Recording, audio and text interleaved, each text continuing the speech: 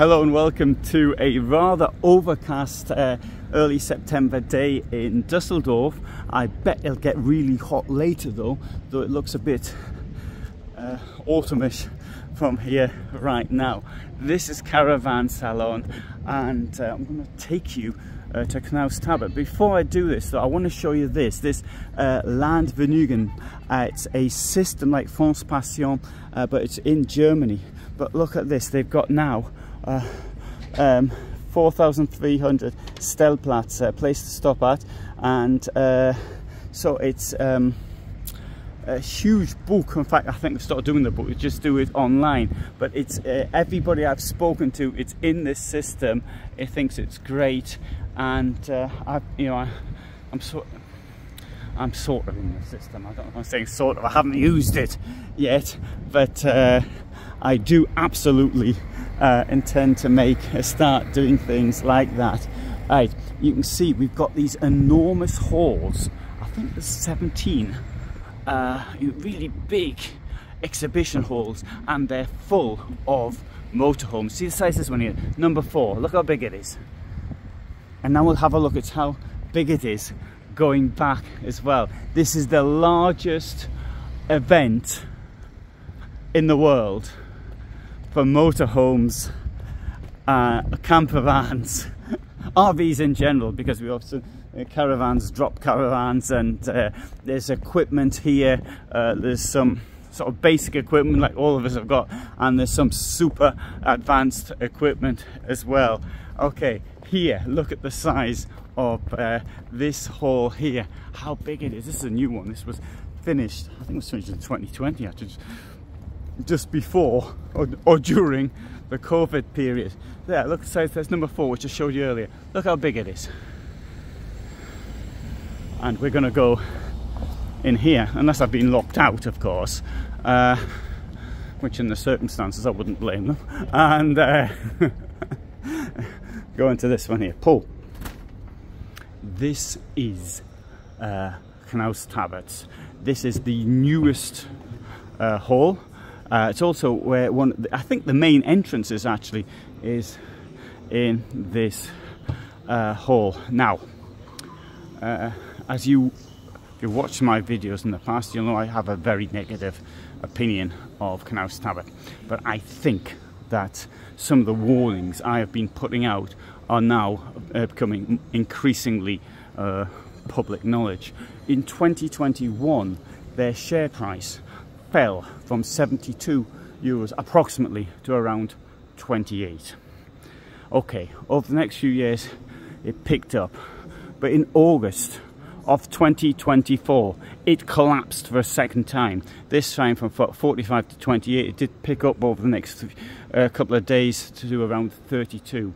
Now, Knaus Tabbert did make an EBITDA uh, profit. Uh, so I don't want to start explaining the differences between various profit and things like this.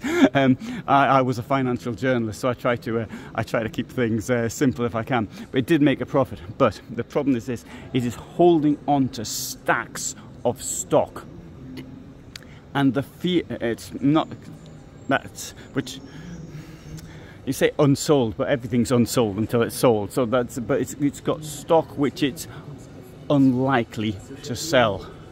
And this means to say there's fear on the market that they're suddenly going to release a stack of stock. And with the effect that that could have on driving down camper van prices above all uh, to a lesser extent. But the camper now if we look at some of these things uh, such as the the box life uh, ones on the Fiat Ducato, the Citroen. That it's more or less the same in every vehicle. There's not you know not much difference from one manufacturer to another. Um, Knaus has the problem that it uses an insulation system which sort of encourages condensation, uh, uh, which was using PU. Uh, having said that, some of the vehicles uh, it has seemed to be coming away from PU uh, recently. Um, so, uh, so that is one thing that is a risk of bankruptcy. Uh, it's gone, sorry, a number of companies went bankrupt in the past, but uh, uh, but there is this. Now, I suspect that uh, I have no inside knowledge of this, but I suspect that if anybody is likely uh, to come in to take over this company, it's like that Winnebago is like to come in as a strategic investor. Strategic investor is a investor from the branch who's going to put, buy up stock, uh, which is, and then it's going to input its own values onto the onto the company. Now I've uh, I've talked of difficulties with the management uh, that I've experienced. I've reported things, problems, and the management's taken no interest whatsoever. And now I put reported from other companies as well. Uh, people have told me, viewers have had a problem, I have intervened, and it gets resolved. Except with this company, it just they just couldn't care less. And now I know normally it's the dealer, and a dealer from any company can be bad or good. Uh, but uh, my experience has been that.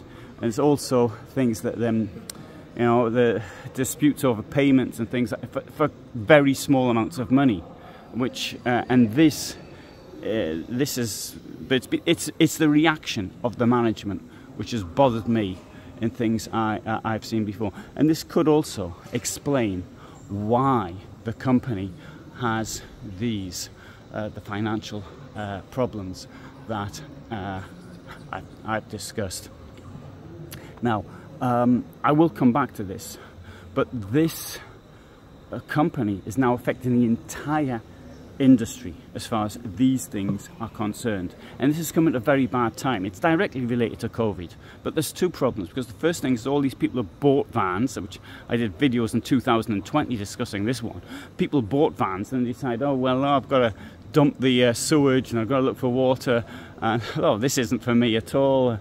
And so then they decide they're going to go back to Spain and uh, take a flight to Benidorm or something like that or whatever they do.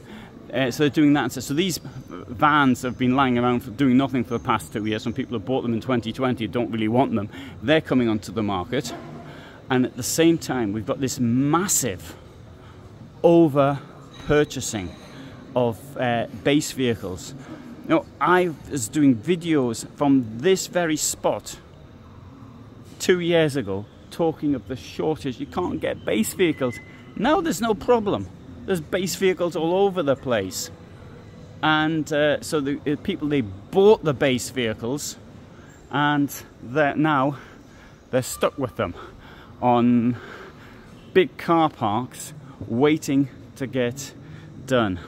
In the case of Knaus Tabbert, we are talking of very large numbers. So they uh, went over the top. Now, uh, there was somebody uh, made a comment about me saying nasty things about the Tabbert, uh, which are unjustified. Well, um, I can say this. I can read a balance sheet. And I would suggest that other people also had a look at that. Um, so, uh, giving you the, an overview, an overview of the market, what's likely to happen we see this in other vehicles with, with base vehicles, uh, sorry, the base camper vans, the Fiat Ducato models, things like that. You're seeing prices now um, well under 50,000 at the base price. And um, I think that this is a, a trend uh, which is likely to continue, even though the equipment inside, you know, the, the, the boilers, the, the toilets, the, uh, uh, the, the more expensive stuff, that has maintained the price that it gained after COVID. So there you go. There's a slight economic overview uh, how the problems of one company do affect the entire industry. So anyway, I hope you found that interesting. Um, give you a bit of an explanation there. Uh, my problems with uh, Knaus Tabbert as a company, I believe in telling the truth. I don't just, uh, um, you know, I just don't just repeat the nonsense that's put out by the corporate nonsense. Um, I have been known to argue back at press conferences. At the press conference that Knaus Tabbert had this year, it said nothing of its uh, um, financial difficulties. Only said some something about uh, how great it is to have a motorhome and go and do van life. That was it. You know, as if as if uh, motorhome journalists didn't already know this. Thanks for watching.